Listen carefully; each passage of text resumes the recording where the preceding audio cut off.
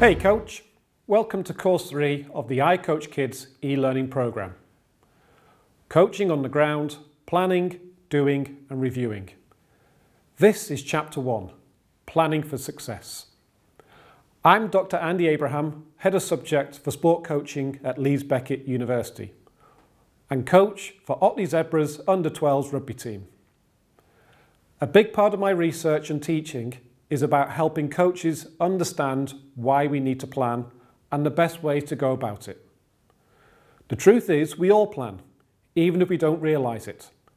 Every day we wake up and we start planning our day. Some of us even do it the night before. We decide what we're going to wear, what we will have for breakfast and which route we will take to work. We will take into consideration the weather, potential roadworks and what meetings we might have on that day. Why do we do this?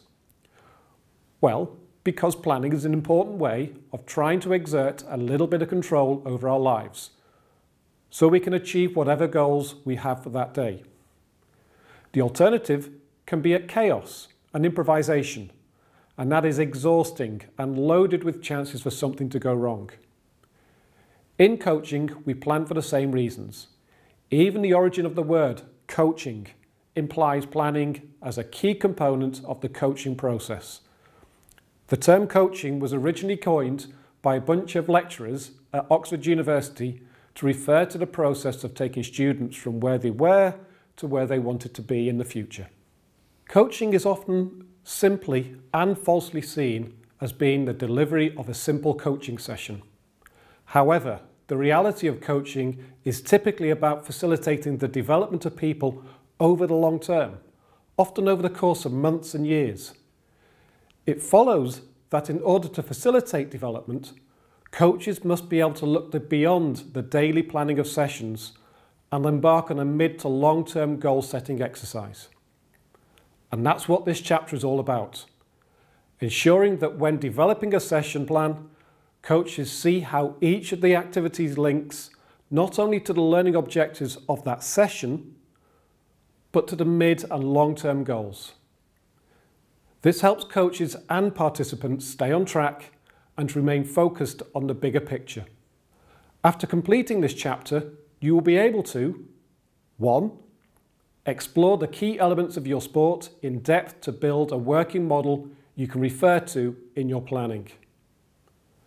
Two, understand and use the key elements of season planning. And three, be able to design sessions and activities clearly linked to medium and long-term objectives. Trust me, this is not a small feat. In my experience, planning is one of the elements of coaching that coaches struggle with most. In fact, planning can work against the human condition. As Daniel Kahneman says, Humans typically do first and maybe think later. Whether because of a lack of time to plan or because we are reluctant to think forward and stare at a blank page, planning is central to success. So remember these two adages. Failing to plan is planning to fail, and the first thing you need to plan is making time to plan. Okay, let's crack on with the first section. Keep calm and plan on.